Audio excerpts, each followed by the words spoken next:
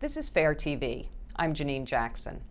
It's not every day you hear a TV reporter talk about all the things he doesn't know, but here's NBC's Meet the Press host David Gregory on July 7th talking about the Affordable Care Act, also known as Obamacare.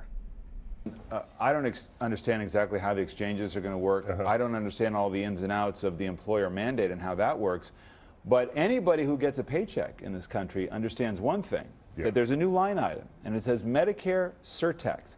So the tax part's working. Yeah, You're well. paying more in taxes for Obamacare. That yeah. part's working. It makes a lot of people mad.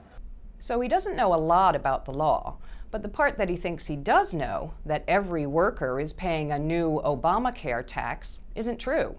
That additional Medicare tax is paid by people with incomes over $200,000. That would be people in the top 2% of household income.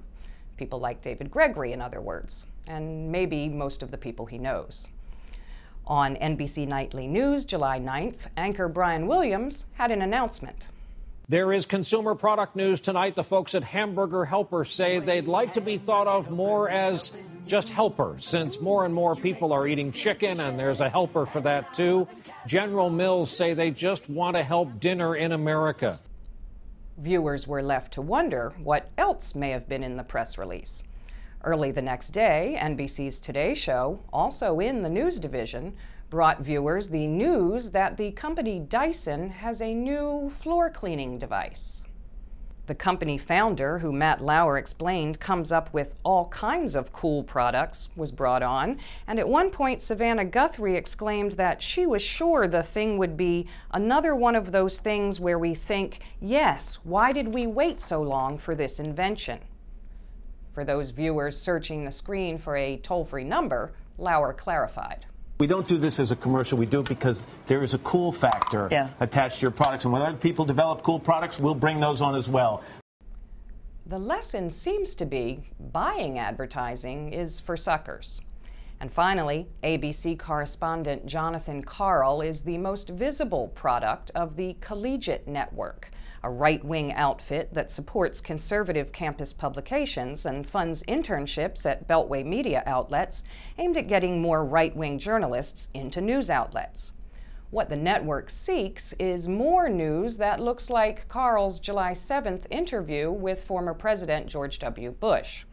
Many another reporter would be embarrassed at the image polishing session, which focused on Bush's charity work in Africa where, Karl told him, you're something of a rock star. And no, asking Bush whether he agrees with Obama's assessment that his AIDS relief policy was one of his crowning achievements does not count as tough questioning.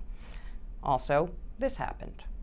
Uh, so, so, so, what do you make? I know you're not into psychoanalysis. Some, these are your critics who, who say that, that all this Africa work you're doing, that a big part of it is you're trying to make up for mistakes you made in Iraq or oh, elsewhere, yeah. and this is you know, it's you fine. say to that? Let them continue to babble. Not true. I, I'm trying to think of the proper word. Absurd psychobabble. As fawning as the whole thing was, and Bush at one point even joked how presidents tend to get criticized, but added, but not by you, John, Bush still circumscribed the interview. When Karl asked him if his feelings on same sex marriage had evolved, Bush refused to answer, saying he was off the stage unless I'm promoting something I strongly believe in. He didn't add, or if I'm talking to a softballer like you, but gosh, by that point, he didn't need to.